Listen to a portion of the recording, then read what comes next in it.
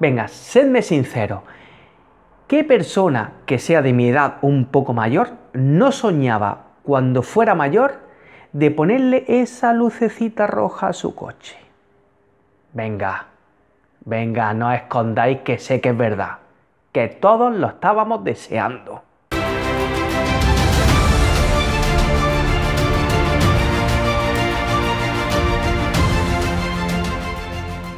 Bienvenidos amantes del VHS y del pelo cardado, acostumbraros a esta camiseta y a este saludo porque estamos de enhorabuena porque este fin de semana se desveló una noticia que a mí personalmente me ha hecho pero que muy muy feliz, incluso me ha hecho bailar de alegría.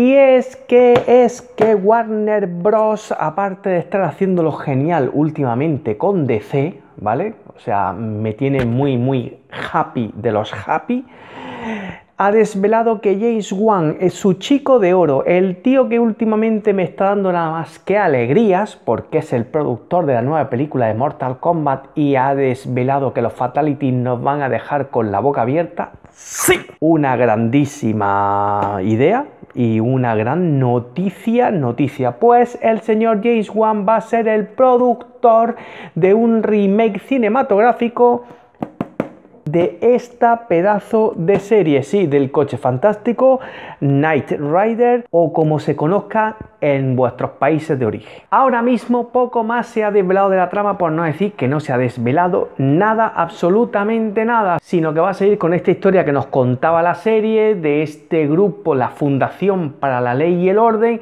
que se enfrentaba a todo aquel que fuera maligno, villano o de dudosa moralidad. Así que partiendo de eso no se sabe nada más, ni actores, ni nada, ni siquiera qué coche tendremos. ¿Será un Pontiac? ¿Será un Ford Mustang como la de 2008? ¿Saldrá de Hoff? ¿El gran David Hasselhoff hará un cameo como hizo la película en el remake de Los Vigilantes de la Playa? Lo único que sabemos es que Spyglass Media se ha asociado con Atomic Monster, que es la productora de James Wan, para traernos este remake. Y el guion correrá a cargo de TJ Fixman, al que conoceréis por ser guionista de los juegos de Ratchet Clank. Así que eso es lo que sabemos según Deadline y lo que se filtró producida por James Wan, no sabemos nada de actores, no sabemos nada de coche, no sabemos nada de nada, simplemente que el guion es de TJ Fixman y ya está. Y ya con eso, pues los fans estamos revolucionados al 500%. Todos los amantes de los años 80 de aquellas series como V, MacGyver, el equipo A, el coche fantástico, pues estamos muy, pero que muy de enhorabuena. Porque si esto triunfa, pues puede abrir la puerta a nuevos remakes también televisivo que esperemos que tengan mejor fortuna que el que se hizo en 2008 de El Coche Fantástico y el que se hizo de V, porque madre mía, dos grandes series que fueron destrozadas en la década de 2000. Y esta noticia me viene como anillo al dedo para presentar una nueva sección para el canal de YouTube llamada Los 80 que nos hacen felices, donde voy a hablar de series y películas de esa década las que me marcaron, algunas menos conocidas, otras más conocidas. Ya tenemos dos vídeos preparados, que ya este viernes podré disfrutar del primero y parece ser que James Wan me ha leído la mente y ha dicho, ahora que las cosas que nos hacen felices están preparando esta sección nueva, pues voy a presentar yo el coche fantástico para hacerles competencia. Pues lo tienes jodido, James Wan. Y ya está, no hay más noticia, pero quería hacer este vídeo porque me hacía ilusión que el coche fantástico vuelva por la puerta grande a la gran pantalla y espero que con ese David Hasselhoff con camisa roja y pelo en pecho.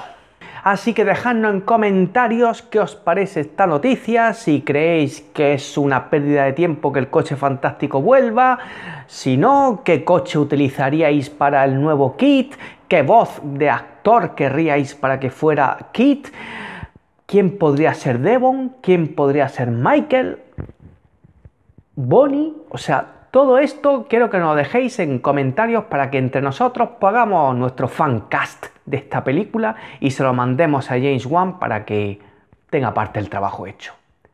Así que sin más me despido diciendo que nos sigáis en nuestras redes sociales, Facebook y Twitter, que le deis un buen like al vídeo, que os suscribáis al canal y que nos sigáis en nuestra web www.lascosasquenoshacenfelices.com donde encontraréis todo tipo de noticias, cine, series, cómics, videojuegos, rol, de todo lo que un friki necesita para que su vida sea más feliz porque para eso estamos, para hacer la vida lo más feliz posible. Así que sin más me despido, sed felices.